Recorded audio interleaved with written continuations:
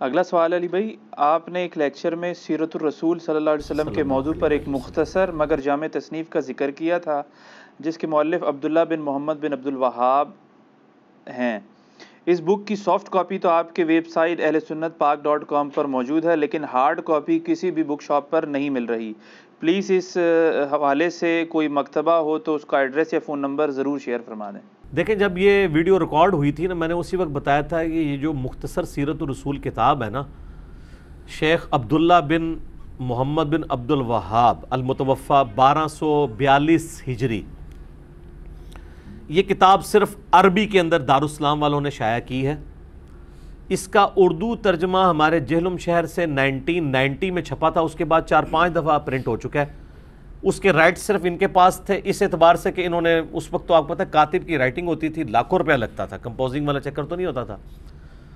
तो ये कई साल तक इन्होंने हज़ारों कापियाँ मुफ़्त बांटी है। हमारे जेलम में शायद ही कोई घर हो जिसमें वो किताब ना हो। कत नज़र के वो बरेलवी हैं, देवबंदी अहल हदीस हैं। यहाँ पर मुफ़्त वो बांटी गई किताब। बांटते रहे, फिर जब आपको पता है वो किसी चंदे की बुनियाद पर ही चल रहा होता है, जब वो चंदा रुक गया तो उन्होंने वो मुफ़्त प्रिंटिंग उसकी बंद कर दी। और फिर प्रिंटिंग भी बंद हो गई। अब ये जब हमारी वीडियो रिकॉर्ड हुई और उसमें फिर काफ़ी लोगों ने उनसे रबता किया कि यार इसको दोबारा प्रिंट करें तो उन्होंने अब दोबारा उसकी प्रिंटिंग करवाई है, लेकिन अब उनके पास फंड्स की कमी है और उन्होंने उसको बेचने के ऊपर रख दिया बहरहाल हमने थोड़ी उनकी मिन्नत समाजत करके उनसे, यानी थोड़े से प्रॉफिट के ऊपर ही, उनके प्रॉफिट के ऊपर वो किताबें उठा ली हैं कुछ। तो अब आप हमारी अकेडमी में रबता कर सकते हैं। सुबह नौ से शाम पाँच बजे तक plus nine two three two one five nine double zero one six two Pakistan में करेंगे तो zero three two one five nine double zero one six two call करके आप टी सी एस में आपको एक कॉपी सिक्स हंड्रेड रुपीज़ में मिल जाएगी। वैसे उसके ऊपर जो कीमत मार्केट में रखी हुई है, वो बारह सौ है। और वो 1200 बता के आपको 800 की देंगे या बहुत कर लिया तो 600 की दे देंगे कि जी आपको आधी कीमत पे दे रहे हैं। हम आपको विद टीसीएस आपके घर में 600 की पहुंचाएँगे। सिर्फ़ टीसीएस का खर्चा ही 300 प्लस का है।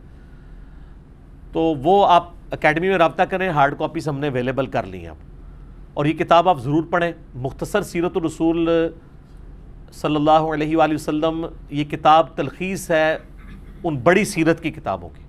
आपको पता है इस उम्मत में सबसे पहले सीरत की किताब जो पूरी दुनिया में अथेंटिक मानी जाती है जस्ट लाइक अहल सुन्नत के यहाँ सही बुखारी है ना, जो इसका मरतबा है ना, सीरत में इमाम बुखारी से भी सौ साल पहले एक बुज़ुर्ग गुजरे हैं, Tabei.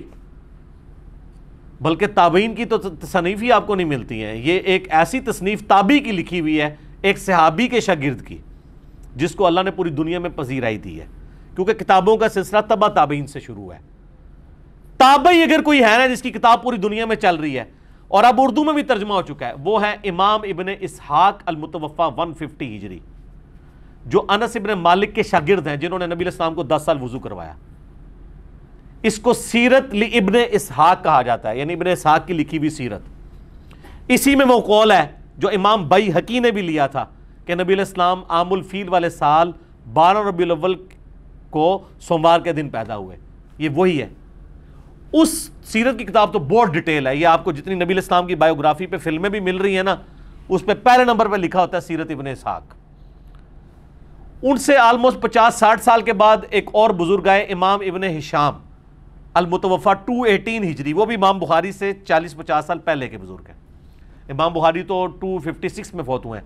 Ibn Hisham to eighteen में फोत हुए हैं। उन्होंने उसकी तलखीस लिखी उसको कहते हैं सीरत इबन हिशाम। और इसकी पजीराई इबन साख से भी ज़्यादा हुई। ये भी उर्दू में अवेलेबल है। दुनिया में सबसे अथेंटिक सीरत की किताब कोई मानी जाती है ना तो सीरत इबन हिशाम है। क्योंकि उन्होंने काफ़ी जो इसराइली रवायतें वो हटा के ना उसको तलखीस कर दी थी इबन साख की। फिर कई सौ साल तक इसके ऊपर काम नहीं हुआ।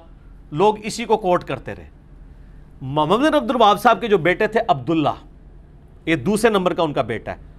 बड़े बेटे का नाम है हुसैन, दूसरे का नाम है अब्दुल्ला, तीसरे का नाम है हसन, चौथे का नाम है अली। अब देखे सारे आयमा बैत वाले नाम है, मोहम्मद वहाब साहब के बेटों के। अच्छा तो ये जो दूसरे नंबर का बेटा था, आज से 200 साल पहले ये फौत हुए हैं 1242 हिजरी, अब ये चल रहा है 1441 हिजरी। इन्होंने इबन शाम की भी तलखीस की और मुख्तसर सीरत रसूल लिखी, जो हमारे जाम असरिया जेलम से पहली दफ़ा उर्दू में तर्जमा करके यहाँ पे जो एक अहल हदीस आलिम थे, अलामा मदनी रही ताला, बड़े जज्बे वाले थे। उन्होंने पूरी ज़िंदगी उसको फ्री तकसीम किया और उन्होंने ये कमिटमेंट की थी कि मैं इसको बेचूँगा नहीं। और वो अपनी ज़िंदगी की वफात तक इसके ऊपर कायम रहे और वो देते रहे। बाद में भी काफ़ी अर्सा, अब बजट की कमी थी तो इन्होंने लगाया तो फिर हमने उनको रिक्वेस्ट की कि, सर, हमें तो नो प्रॉफिट नो लॉस पे आप दें ना, हम ताकि लोगों को कम अज़ कम ये दें। लोग तो ख़रीदने के लिए भी तैयार हैं तो अब वो माशाल्लाह आ गई बल्कि वो पीछे से दोनों दिखाएँ जी मुझे, पुराने वाली भी और नई वाली भी। मैं ज़रा दिखा दूँ, अब नई वाली जो है ना, उसके गत्ता भी ज़रा अच्छी क्वालिटी का उन्होंने आम स्टैंडर्ड साइज़ के ऊपर ले आए हैं, पुराने वाली भी ले आए, साथ ही पड़ी हुई है। ये प्रिंट होगी है जी। इसमें मैंने खुलफा राशदीन की सीरत के हवाले से वो हवाले पेश किए थे ना सईद अली के हवाले से जंग जमल सिफ़ी नरवान के भी, ये भी सारे के सारे माशा ताला इसमें मौजूद हैं। ये वो पुराने वाली है जो मैंने उसमें दिखाई थी, और ये नई वाली है जो मेरी लेफ़्ट साइड के ऊपर है, ये नई वाली ये राइट साइड वाली जो है, ये पुराने वाली है।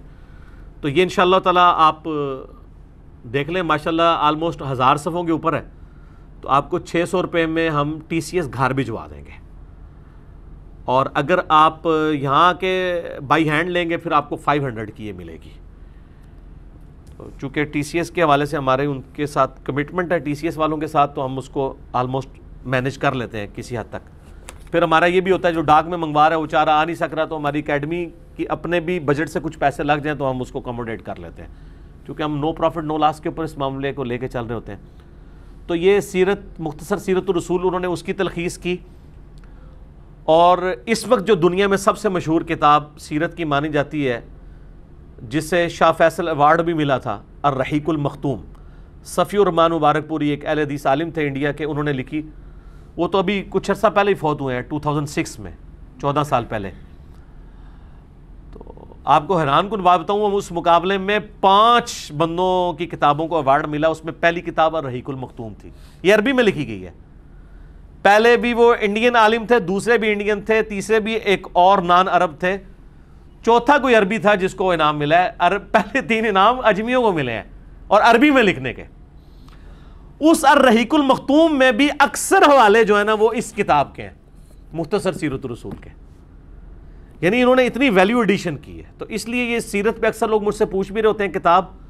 मेरा ख्याल है ये किताब एक आपको ओवरऑल उम्र सीरीज़ में जो कुछ उन्होंने नबी इस्लाम की मुबारक ज़िंदगी तक जो दिखाया है ना कि आपकी रेवोल्यूशन किस तरह मक्के से शुरू होकर आपकी वफात तक किस लेवल तक पहुँची है। वो ऑलमोस्ट इन्होंने कवर किया इसमें भी मतलब कुछ एक चीज़ें स्किप भी हुई हैं। लेकिन ओवरऑल एक अच्छी कोशिश है। तो ये किताब, सीरत पे भी अक्सर लोग पूछते थे। तो मैं तो सबसे पहले सीरत पे किताब आपको ये वाली बताता हूँ। कुरान। जी, सही मुस्लिम में हदीस है। अम्मा आयशा से पूछा गया, नबी इस्लाम के अखलाक और सीरत कैसी थी? तो उनका, कुरान नहीं पढ़ते। वो तो प्रैक्टिकल लाइफ है ना पूरी आपकी एक ज़िंदगी। बाकी हम लोगों को ज़्यादा इंटरेस्ट होता है कि आप इस्लाम की बिल्कुल एक निजी लेवल पे जो आपकी शमाइल, यानी आपकी जो ज़िंदगी गेटअप कैसा उठना, बैठना, उतनी डिटेल तो सारा कुरान तो सिर्फ़ आपकी दावत को डील करता है। तो वो आपको ये किताब आलमोस्ट ये 808 सफ़े हैं जी इस किताब के। तो 800 सफ़ों में ये किताब है तो इसकी तो फ़ोटो का भी आपको आठ सौ रुपये में नहीं मुश्किल से होगी। तो ये तो हम आपको टी सी एस समेत छः सौ रुपये की, इतने मोटे गत्ते में अच्छी प्रिंटिंग हुई भी, आपके घर पहुँच जाएगी तो जिन लोगों को शौक़ है वो ये किताब मंगवाएँ, ज़रूर। हमारा इसमें कोई नफ़ा नहीं है, आपके पॉइंट ऑफ़ व्यू से मैं अगर मिशकात का तारुफ करवाता हूँ या हदीस की किताबों का या सीरत की किताबों का, इसलिए ताकि जिनको पढ़ने का शौक़ है। हम तो ये पढ़ चुके हैं अलहमदिल्ला और जब ज़रूरत पड़ती है, पढ़ते हैं, हवाले कोट करने के लिए। एक मुसलसल शगफ़ रखा हुआ है पढ़ाई का तो आप लोग भी शगफ़ ज़रा पैदा करें, किताबों के साथ अपने आप को जोड़ें। बाबों के साथ ना जोड़ें, चाहे वो मैं ही क्यों ना हो। हवालों के साथ, किताबों के साथ जुड़ें। इस किताब पे मैं एक घंटा बोल सकता हूँ। लेकिन मुख्तसर से टाइम पे दस छोटे छोटे हवाले दूँगा और उनकी इंजीनियरिंग नहीं करूँगा। उसके लिए आप मेरा रिसर्च पेपर फाइव बी पढ़ें, जिसका मैं तारुफ एंड पे कराऊँगा। पहले करा दिया तो आपको बुरा लगेगा। इसके ऊपर आप मौला अली वाला चैप्टर निकालें, सर। एंड पे जाके आता है मौला अली के ऊपर चैप्टर सीरत रसूल लिखी है और साथ खुलफा राशदीन की भी लिखी है उन्होंने। मुख्तसर सी, खिलाफ राशदा के ऊपर। मौला अली वाला चैप्टर इनका स्टार्ट होता है जी पेज नंबर 781 हज़रत अली इबन अबी तालिब की खिलाफत। 782 पेज पे ये पहला रेफरेंस मैं पढ़ रहा हूँ वर्ड बाई वर्ड अहल हदीस से माजरत के साथ। और जो इल्मी किताबी मुसलमान हैं पूरी दुनिया में, किसी भी फ़िरके में है, उनको खुश करने के लिए। वर्ड बाई वर्ड पढ़ रहा हूँ। सुने। हज़रत मुआविया रदी अल्लाह तु ने अहल शाम समेत हज़रत अली रदी अल्लाह तु की बैत नहीं की। फिर इनकी सिर्फ़ मुखालफत ही नहीं की, बल्कि इन पर कत्ल उस्मान में एनत यानी मदद करने और इस पर रजामंदी का इल्ज़ाम भी धर दिया। मगर अल्लाह ने उनको इससे बचा लिया। मैं अमीर शाम के बारे में कोई कमेंट्स नहीं करता। ये जो कर दिए ये खुद ही काफ़ी हैं। और ये बिल्कुल सही बात लिखी है उन्होंने। इसके स्पोर्ट में मैं घंटों बोल सकता हूँ, नहीं बोलूँगा। क्योंकि ये खुद इतने बड़े आलिम हैं कि इनको मुझे सर्टिफाई करने की ज़रूरत नहीं है। क्योंकि आल हदीस के इमाम है? अच्छा जी। दूसरा रेफरेंस जंग जमल के कॉन्टेक्स्ट में वो लिखते हैं इसके बाद हज़रत अली ने हज़रत आयशा को मदीना मुनवरा भेज दिया। वो जाने लगी तो लोग उनको वदा करने के लिए दूर तक उनके साथ गए। ये विदा लफ्ज़ नहीं होता वदा होता है ज़बर के साथ। हज़रत अली रदी अल्लाह ने सफ़र सफ़र खर्च का इंतज़ाम भी किया। इस तरह वो बाहिफाजत और सही सलामत घर पहुँची। बाद में वो अपने सफ़र को याद करके इस कदर रोती कि आंसुओं से उनका दुबट्टा भीग जाया करता और कहती काश मैं पैदा ही ना हुई होती काश मैं इस वाक़े से 20 साल पहले ही मर जाती। अल्लाह। ज़रा कुरान में हुक्म है नबी की बीवी घरों में ठहरी रहो। तो वो इस चीज़ को याद करती थी। फिर हौब के कुत्ते भी भोंके, वो भी हदीस है। जामिया इसमें मुस्ंद अहमद में बाकी। अब मैं इसमें नहीं बोलूँगा, वो फाइव बी में आप पढ़ लीजिएगा, मैं एंड पे बता दूँगा। रेफरेंस नंबर थ्री जंग सिफीन के बारे में। लिखते हैं, अम्मार की शहादत के बाद अमर इबन आस ने लड़ाई छोड़ दी, तर्क कर दी और बहुत से लोगों ने भी उनकी पैरवी की।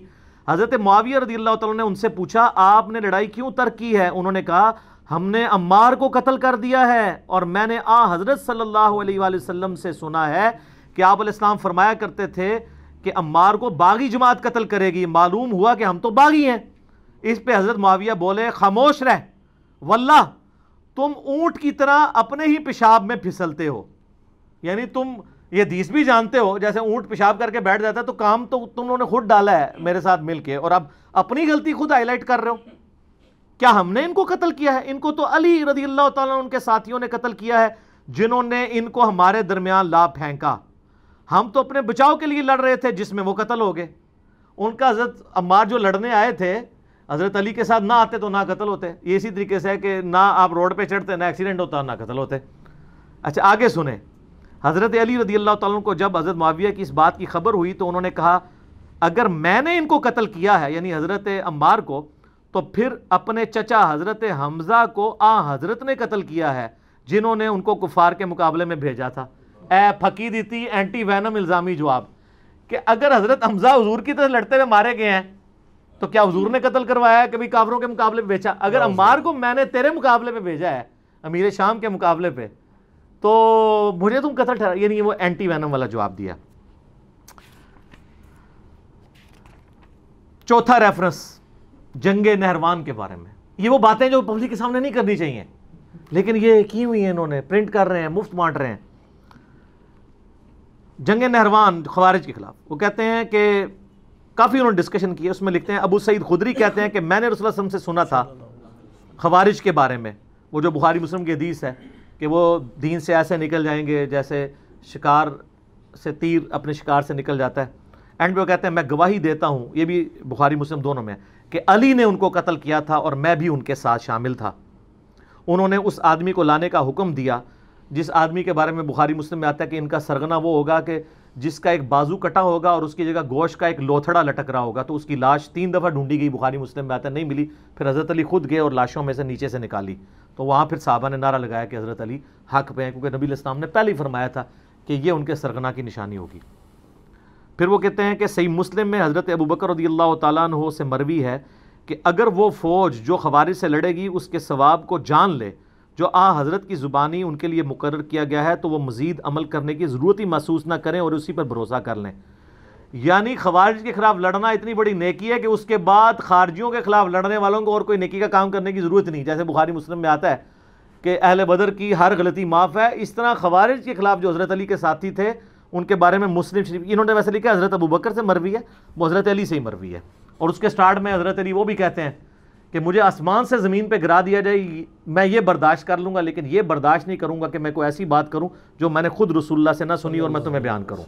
यानी हदीस मामले में इतनी एहतियात। वसल्लम।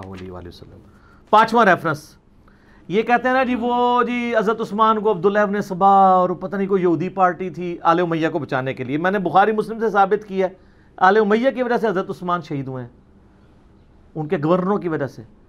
इन्होंने हज़रत उस्मान का चैप्टर पढ़े, कहीं नहीं डाला, अब्दुल्ला इबन सबा का, नाम तक नहीं लिखा। उल्टा हज़रत अली वाले चैप्टर में उन्होंने बताया कि ये जो हज़रत अली की शान में गलू करने वाले राफदी थे, वो हज़रत अली के दौर में निकले हैं। इसके ऊपर पूरा चैप्टर उन्होंने बनाया है। फ़िरक गालिया का खरूज। हज़रत अली के ज़माने में गाली फ़िरका पैदा हुआ।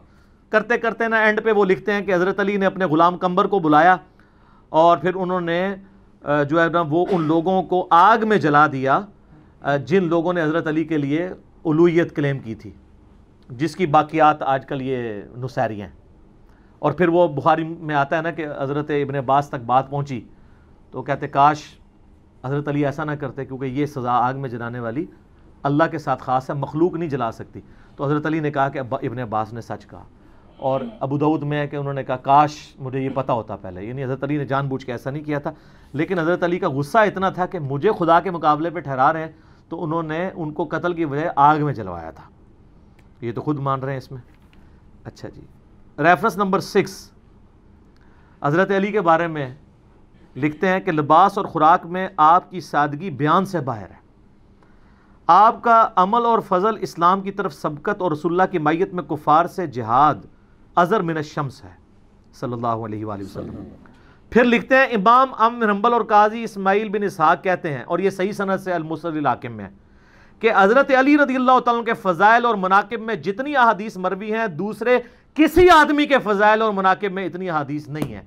ए लिख रहे थे जी सऊदिया ले वाबी और पाकिस्तानी वाबी के कह रहे हैं और रहने दो, मैं आज नहीं। आज अपने बुज़ुर्गों रो रेफरेंस नंबर सेवन वही जो हम कहते हैं, हज़रत अली ने, हसन इबन अली को अपना खलीफा नामजद नहीं किया, इन्होंने भी वही लिखा। किसी ने कहा, क्या आप अपने बाद आने वाले खलीफा को नामजद करेंगे? उन्होंने फरमाया, नहीं, मैं तुम्हें उसी तरह छोड़ूँगा जिस तरह रसुल्ला सलम तुम्हें छोड़ गए थे। बाज ने कहा कि आप लोगों से हसन के लिए बैत ले लें। तो आपके इंतकाल के बाद हम आपकी कमी महसूस नहीं करेंगे। फरमाया, मैं ना तुम्हें इसका हुक्म देता हूँ, ना मना करता हूँ। ये तुम्हारा अपना चॉइस है। मैं ये काम नहीं करूँगा। ये बात है सब। खिलाफत मलूकियत में ये फ़र्क है। रेफरेंस नंबर एट सर, ये सबसे कड़वा है। और आया आठ नंबर पे है। जन्नत के भी आठ दरवाजे हैं ना। बुखारी, मुस्लिम में आया है कि रमज़ान में वो आठों दरवाजे खोल दिए जाते हैं। और मुस्लिम शरीफ में है जो वज़ू के बाद अशद अशद महमद रसूल पढ़ ले। जन्नत के आठों दरवाजे खोल दिए जाते हैं। तो सर रेफरेंस नंबर आठ। वर्ड बाई वर्ड बनु मैया हज़रत अली की तनकीस और इनके बारे में नाजेबा अल्फाज इस्तेमाल करते रहे। मगर इससे उलमा के दिल में उनकी मोहब्बत बढ़ गई और कदर मंजिलत में इजाफा हो गया। उमर बिन अब्दुल्ला बिन जुबैर कहते हैं कि बनु उमैया साठ साल तक इनको गालियाँ देते रहे। ये सब का लफ्ज नहीं है अरबी खोलें शतम का लफ्ज है। सब का तर्जमा तनकीर भी हो जाता है ना। उस लफ्ज का नहीं होता सबो शतम जो हम बोलते हैं। और ये ना समझे कि ये इन्होंने कहानी लिखी। सर सही मुस्लिम सिक्स डबल टू नाइन अदीस लान अल्लाह अब तुराब कहते थे। अबू तुराब अली इबन अबी तालिब पर लानत ये लफ्ज बोलते थे नाउजुबिल्ला आले उमैया। तो ये आपके बुज़ुर्ग ठीक लिख रहे हैं। साठ साल तक उनको गालियाँ देते रहे मगर उनका कुछ ना बिगाड़ सके बल्कि इनकी शान पहले से भी बुलंद हो गई। आगे अल्फाज बड़े सख्त हैं। दीन ने एक इमारत खड़ी की जिसको दुनिया ने गिरा दिया। वो कहते हैं, मौला अली को अल्लाह ने खड़ा किया दीन की इमारत के तौर पे। ये दुनिया के जो प्रस्तार थे ना, आले उमैया, इन्होंने उसको गिराने की कोशिश की। लेकिन दुनिया कुछ ना बना सकी, मगर जो कुछ बनाया उसको भी मुनहदम कर दिया। वो कहते हैं, आले उमैया के पल्ले कोई शह है भी थी ना, वो भी उन्होंने गवा दी। हज़रत अली को ये की तनकीस नहीं कर सके। हर तरफ़ अली अली हो रही है। वो सर नासबियों की मस्जिद में भी चार खुलफा के नाम लिखे होते हैं। पीछे क्या रह गया अली को कौन नीचा कर सकता है? नासबियत को हवा देने वाले लोग भी हक चार यार कहते हैं, हक पाँच यार नहीं कहते। इससे बड़ी क्या जीत होगी सैदन अली की? Second last reference number nine वही हदीस लिखी है बुदो तिरमजी की कि मेरे बाद खिलाफत तीस साल तक रहेगी। इसके कॉन्टेक्स्ट में लिखते हैं, और हज़रत अली की खिलाफत चार साल और आठ महीने है। इसको हदीस में तीस साल इसलिए कहा गया कि असल मुद्दत इसके करीब करीब है।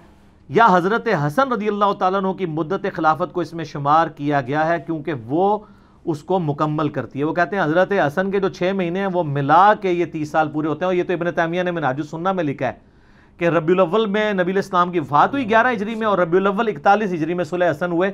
हज़रत हसन की सुलह पे तीस साल पूरे होते हैं तो खलीफा राशिद पाँच हैं, अबू बकर, उमर, उस्मान, अली, हसन इबन अली। और ये मोहम्मद अब्दुल साहब के बेटे भी ये बात मान रहे हैं और लिख रहे हैं। आखिरी रेफरेंस है, खिलाफत हसन के ऊपर उन्होंने चैप्टर बांधा है। उसके बाद सुलह हसन के ऊपर उन्होंने इसके ऊपर कंक्लूड किया है। और हज़रत हसन का खुतबा नकल किया है, जो उन्होंने मुआविया से सुलह के बाद दिया था। उस खुदा का शुक्र है जिसने हमारे ज़रिए तुम्हारे पहलों को हदायत बख्शी। यानी उन्होंने कहा कि तुम्हारे बाउजदाद को अल्लाह ने हम बनु हाशिम के ज़रिए हदायत दी। और हमारे ज़रिए तुम्हारे पिछलों का खून बंद किया। आज भी हमने ही कुर्बानी की है और अपनी मसनत छोड़ी है। कत्लो गारत से बचाया है तुम्हें। वो दोजक की आग से बचाया था और ये दुनिया की आग से बचा लिया। सबसे बड़ी दानाई परेजगारी है और सबसे बड़ा इड्स बदकारी है। फिर मेरे और मुआविया के दरमियान जो इख्तलाफ पड़ गया था, कता नज़र इससे कि वो हक पर थे या मैं हक पर। मैं उम्मत मोहम्मदिया सल्लल्लाहु अलैहि वसल्लम की मसलियत और उनके खून बंद करने के लिए अपने इस हक से दस्तबरदार हो गया हूँ। और बुखारी में भी ये हदीस है, मेरा ये बेटा सैयद है, इसकी वजह से सुलह होगी। इसमें इंप्लाइड है कि सामने वाला हटधर्मी पे होगा। इसकी वजह से सुलह होगी, उसकी वजह से नहीं। यहाँ कहते हैं जी उन्होंने उनकी वजह से सुलह हुई है। नबी इस्लाम इसकी वजह से होगी, ये अपनी पोस्ट छोड़ेगा। फिर मुआविया रदी की तरफ़ मुँह करके फरमाया, मैं नहीं जानता कि ये तुम्हारे लिए फितना है, ये हुकूमत। या कुछ मदद, मुद्दत के लिए इसमें तुम्हारे लिए फ़ायदा है। यानी दुनिया में कुछ फ़ायदा उठा लो। मुझे नहीं पता, अल्लाह ने तुम्हें आजमाइश में डाला है। तो ये दोनों बातें हुई, आजमाइश में भी डले और फितने का भी शिकार हुए। और ये हकाइक अगर आपको जानने हो तो दुनिया में एक पम्फलेट है, जिसका उनवान है five B research paper. Sir, ये हाँ वाक़ करबला का कहानी पस मंज़र नहीं, हकीकी पस मंज़र। बहत्तर सही इस्नाद हदीस की रोशनी में, जिसमें 200 से ज़्यादा हदीस हैं। बहत्तर का टाइटल मैंने शहदाय करबला की नस्बत से लिया। एक एक नंबर पे कई हदीसें हैं। मसलन तैतीस नंबर पे आठ हदीसें हैं। आठ तुरुक गदीर खुम के। सैदना उमर की शहादत से लेकर शहादत हुसैन तक पूरी इस्लामिक हिस्ट्री कवर हुई है। हकीकी खुलफा राजदीन कौन है? जंग जमल सिफ़ीन नहरवान, शहादत उस्मान के असली इसबाब, सुलह हसन हज़रत माविया का दौर मलूकियत यजीद की वली अहदी और शहादत हुसैन इबन अली रदी अजमैन वालीम अजमैन ये अल्हम्दुलिल्लाह अरबी में भी है, उर्दू में भी है, हिंदी में भी है, इंग्लिश में भी है। हमारी वेबसाइट एल सुन्नत पाक डॉट कॉम पर आप रिसर्च पेपर्स वाले पोर्शन से मुफ़्त डाउनलोड इसका पी डी एफ़ करें, ग्रुप में रबता करके व्हाट्सएप के ज़रिए पी डी एफ़ मंगवा लें। इसमें अक्सर हदीस बुखारी, मुस्लिम से हैं, तहकीम की ज़रूरत नहीं और जिन पे तहकीम की ज़रूरत थी, मैंने दौरे हाजिर के बड़े बड़े मुहदसिन शेख अलबानी रही ताली शेख ज़ुबैल ज़ई रही ताली शेख शुएब अरनोत रही ताली शेख सुलैम असद और ग़ुलाम मुसवा ज़हीर हाफिज़ा ताली मिनल जन्नत वन्नास जो ज़ुबैल ज़ई साहब के बागी शागिर्द। लेकिन तहकीम तो लगा बैठे हुए हैं वो, और हमने इसमें डाली हुई है, और बाकी लोग। मैं तो मतलब उलम कौम बिलकिस्त हूँ अलहमदिल्ला जिसकी जो पॉजिटिव चीज़ है वो प्रमोट करूँगा। सबकी तहकीम के साथ है। और ये ख्याली पस मंज़र नहीं है। अहदीस की रोशनी में है। ये सलाउद्दीन यूसुफ साहब की झूठी तारीख या वो सनाबली की लिखी हुई झूठी तारीख नहीं है, अहदीस हैं। जिस जो कि खिलाफत व मलूकियत मौला मदूदी रही ताला की किताब का हदीसी दिफा है, हदीस की रोशनी में। तो सर, ये आप मुफ़्त मंगवा सकते हैं। अगर आप अफोर्ड नहीं कर सकते। ये और इसके साथ आठ रिसर्च पेपर और और तीन अजकार कार्ड बारह का पैकेज फ्री बिल्कुल मंगवा सकते हैं। अगर अफोर्ड नहीं कर सकते, अगर अफोर्ड कर सकते हैं तो नो प्रॉफिट और थोड़े से लास्ट पे जो अकेडमी बर्दाश्त करती है, आपको डाक में मिल जाएगा। सुबह नौ से लेकर शाम तक आप रबता करें। टू हंड्रेड रुपीज़ हमने रखे हुए हैं। एक रिसर्च पेपर नहीं। सर, ये रिसर्च पेपर्स की फ़ोटो कापी भी आप जो कलर्ड हमने प्रिंट किए हैं ना photo copy black and white eighty gram page पे जिसमें हमने प्रिंट किया है 200 की फ़ोटो कापी नहीं इनकी होती, जो हम कलर्ड आपको दे रहे हैं। और जो ज़रूरतमंद है, हम उससे सर्टिफिकेट भी नहीं बनवाएँगे, बस सिर्फ़ वो अल्लाह को आलिम नाजर जानता हुआ कह दे, मैं ज़रूरतमंद हूँ, हम कोई तहकीक नहीं करेंगे फ्री भिजवाएँगे। और ये कीमत भी इसलिए रखी कि बाद लोग इसको मिस कर रहे थे। फिर भी इसको नो प्रॉफिट और थोड़े से लास्ट पे ही रखी। सुबह नौ से लेकर शाम पाँच बजे तक आप हमारे अकेडमी के नंबर पर रबता करें। प्लस नाइन टू के कोड के साथ three two one five nine double zero one six two Pakistan में करेंगे तो zero three two one five nine double zero one six two. Call करें इन ताला आपके घर ही आ जाएगी, इसको पढ़ें। और जिसको ज़्यादा जल्दी है तो वेबसाइट से अभी डाउनलोड करें और प्रिंट आउट निकाल लें चालीस पचास रुपये का निकल आएगा। तो इन आप जब इसको पढ़ेंगे तो आपको पता चल जाएगा कि असल में अहदीस के मानने वाले कौन हैं और सिर्फ़ अहल हदीस का लेबल लगाने वाले कौन हैं। ये बड़ा मुश्किल काम है। ठीक हो गया जी? मेरा ख्याल इसको, मजलिस को यहीं पे कंक्लूड करते हैं। अजानें शुरू हुआ चाहती हैं। बकिया सवाल इन शाला अगली मजलिस में डिस्कस करेंगे। अल्लाह ताला से जो दुआ है, जो हक बात मैंने कही, अल्लाह ताला हमारे दिलों में रासिक फरमाए। अगर जज्बात में मेरे मुँह से कोई गलत बात निकल गई तो अल्लाह ताला हमारे दिलों से उसे माफ़ कर दे, हमें मुआफ़ भी फरमा दे, हमें किताब सुन्नत की तालीमत पर अमल करके दूसरे भाइयों तक पहुँचाने की तोफ़ी कता फ़रमाए। सुबहानकल्लाबहमदिक अशदल्लातफ़िर व अतूब इलैक वमा अलैना इल्लल बलागुल